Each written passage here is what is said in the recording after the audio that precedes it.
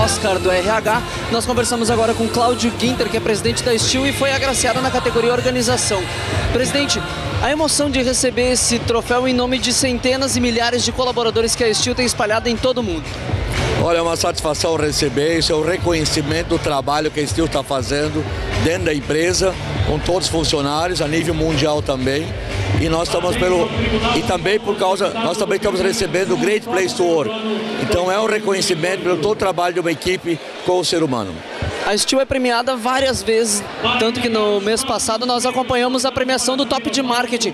Essas premiações são estímulos para a Steel continuar executando o bom trabalho que já vem executando? Com certeza. Isso tudo comprova que nós estamos no caminho certo e cada vez mais. E tudo nós estamos fazendo isso também para divulgar o nome da marca Steel, deixar cada vez mais forte a Steel e também para ser uma empresa de referência, uma empresa tanto retenção de funcionários como de atração de novos talentos. O presente da Steel é a liderança de mercado e a qualidade dos produtos. O que, que nós podemos esperar para o futuro?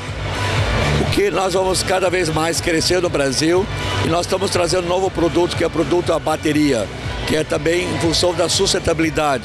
Isso é um produto que vai crescer muito no Brasil e vamos ter bastantes lançamentos no futuro também.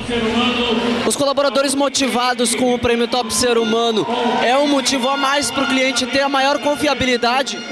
Com certeza. Nós, faz parte da nossa política, da nossa cultura corporativa do Grupo Steel.